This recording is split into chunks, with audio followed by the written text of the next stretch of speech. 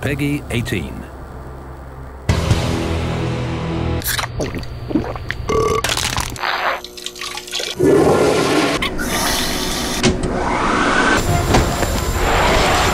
It's down to you and me.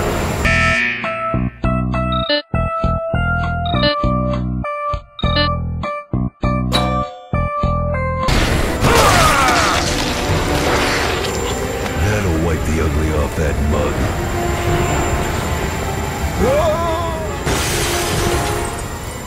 Congratulations!